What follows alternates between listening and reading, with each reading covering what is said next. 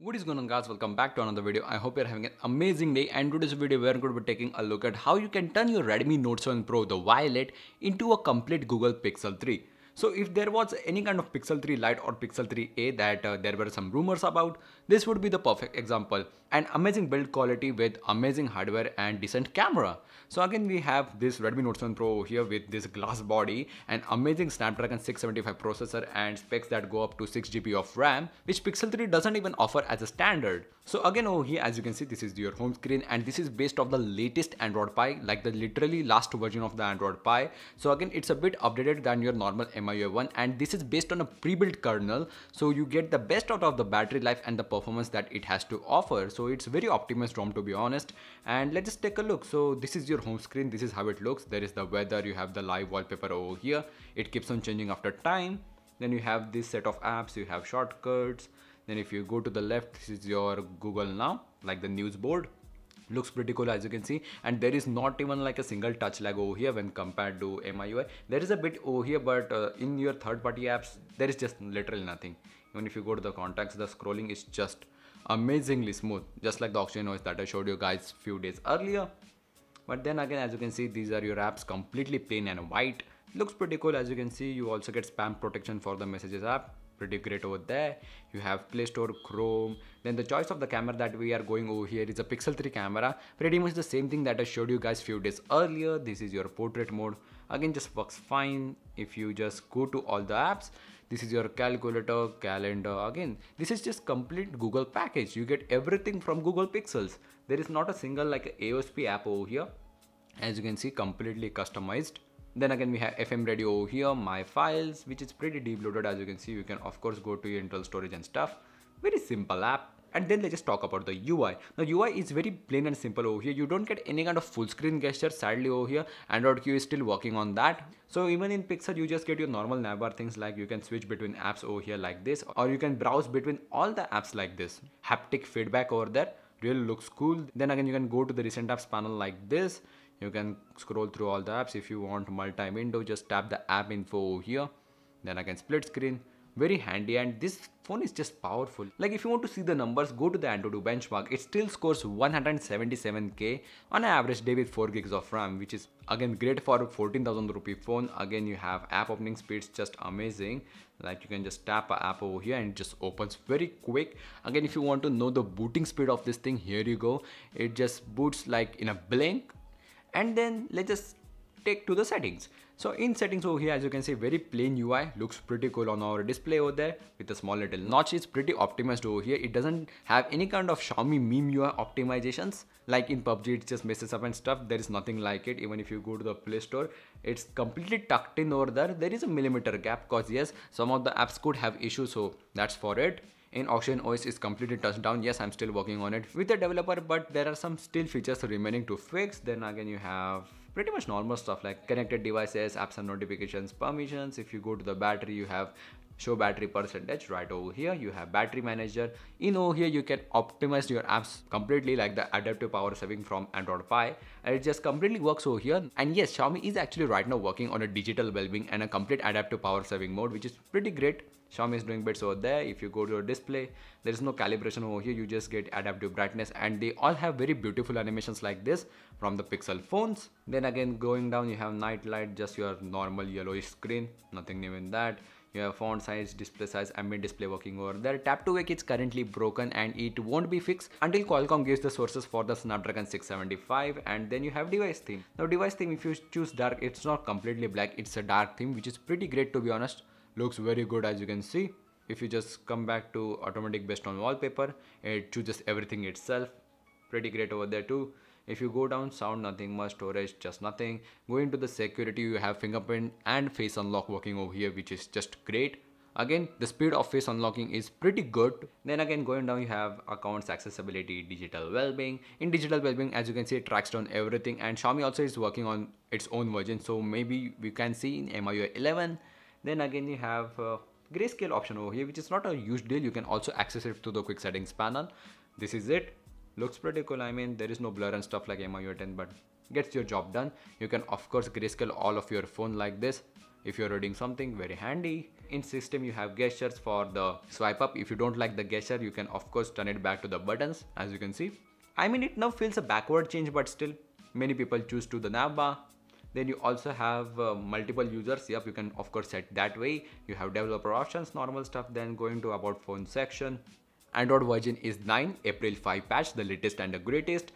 Also the kernel version is 4.14 the latest. Again just great. Also the build number is pq2a not the 1a so again the latest of android pie so if you just go to the easter egg now the easter egg is a bit different what you get basically on MIUI 10 as you can see the P just keeps on changing the colors and at the end of it you get a drawing board which is I don't know why Google added onto the last version of Android Pie.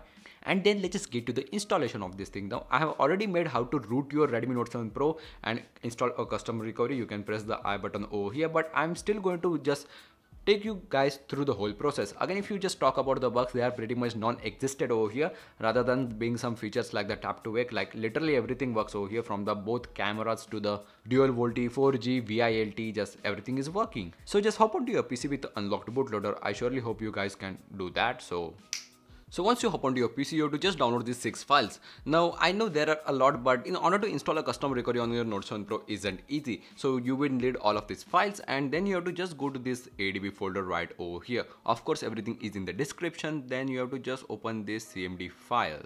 Now in this CMD file, you have to actually type in first of all fast boot devices. Then just grab your phone and press power and volume down at the same time just like you did while unlocking your bootloader. There you go, there is the MI Bunny. Just connect the phone to your PC and hit enter. There you go, a random number and fastboot. That means our device has been successfully connected. Then again, you have to just install VB Meta image. Cause yes, although this phone has treble and everything, Xiaomi has kind of blocked from installing any kind of custom system vendor or boot image, which are essentially the whole ROM. So you have to actually unlock that by copying the command in the first line of the description. You have to just copy it and right click it over here. Then hit space and then drag in this uh, VB Meta image over here just like that. Then hit enter. There you go successfully unlocked. Then again you have to just type in fast boot flash recovery. Then you have to just drag in this TWRP over here. This is our custom recovery just like that. Hit enter there you go, our custom recovery has been successfully flashed. Now you just grab your phone and do not reboot your phone. If you reboot your phone, your custom recovery would be gone and you have to just do this whole process again. So directly just press power and volume up at the same time until the Redmi logo shows up. So you have to just now go to wipe format data and type in yes over here yes as we are wiping our whole device you have to actually take a whole backup of your phone calls in order to remove the MIUI encryption this is actually necessary so this will completely clean our phone and our phone would be decrypted. That's that. Then again you have to go to wipe, advanced wipe and wipe Dalvik cache data system, not the vendor. We still need vendor in order to use any kind of firmware tools like for networking and Wi-Fi. So do not just wipe vendor, go back. And then you have to just go to this PC, Xiaomi Redmi Note 7 Pro, internal storage. As you can see, it's completely blank. Then you have to just copy this Lineage OS firmware, Gcam, and Pixel Experience, the actual Pixel 3 ROM. Once everything has been copied, just go back to your phone, swipe to unlock, go to mount and mount everything from system vendor like literally everything which is mountable. No need of micro SD card or the USB OTG. Just go to home back again, go to install and now select Lineage OS firmware, add zips, pixel experience. Just confirm to flash and it will do everything itself from patching the vendor to installing the Pixel 3 ROM.